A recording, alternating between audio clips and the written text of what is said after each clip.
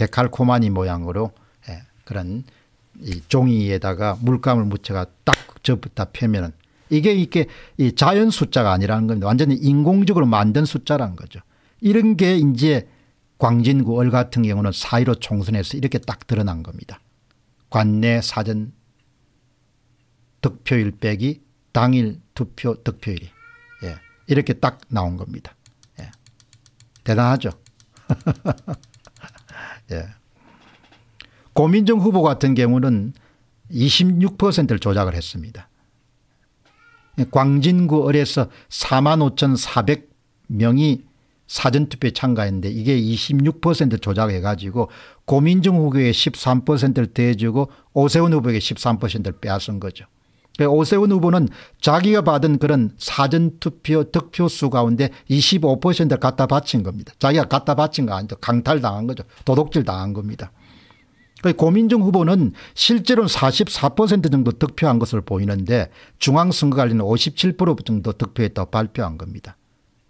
실제로 오세훈 후보는 53%를 득표한 것으로 예상되는데 중앙선거관리는 40%밖에 득표 안 했다. 그러니까 사전투표를 득, 이 조작하면 이길 수가 없는 겁니다. 예, 이길 수가. 이렇게 이길 수가 없는 선거를 만들어 놓은 겁니다. 여러분 이거 한번 보시죠. 예. 여기 하단에 있는 이 수치가 여러분 뭔가 하니까 이 3번 하단에 있는 거가 최종 결과입니다. 중앙선거관리원 발표한 예, 총 득표수입니다. 후보별.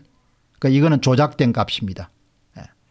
고민정이 5만 4천 표, 오세훈이 5만 1천 표로 고세훈이 사, 고민정이 3천 표짜리 이겼다 이렇게 발표했지 않습니까?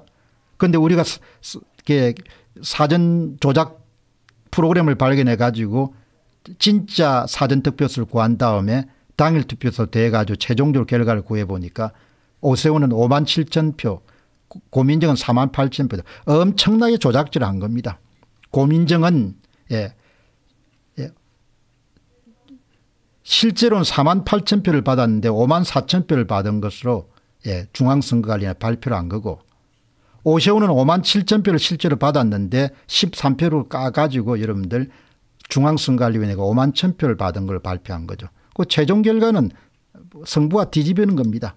선관위는 고민정이 2748표짜리 이겼다 했지만 우리가 실제로 조작 프로그램을 찾아내 가지고 26% 여러분들 빼앗아간 것을 모든 투표수 레벨에서 다 수정 보완해 가지고 진짜 사전 득표수를 구한 다음에 그게 다 당일 득표수를 이름 대해 가지고 총 후보별 득표수 구해 보니까 오세훈이 한 만 표 차이 9,492표 차이를 이긴 겁니다.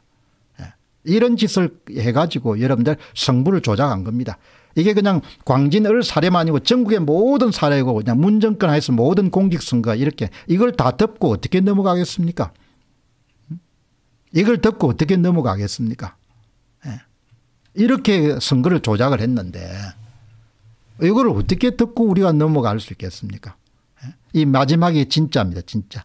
이게 가짜입니다. 선관위가 발표한 가짜. 이렇게 여러분들 결과를 완전히 조작을 해가지고 예.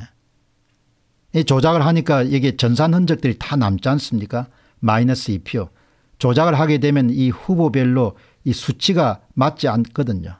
예. 중앙선거관리에 발표된 자료하고 진짜 구한 거하고 사전 득표수에 숫자가 맞지 않아가 이렇게 숫자가 남아서 마이너스 1을 또 수정해 가지고 이렇게 나오지 않습니까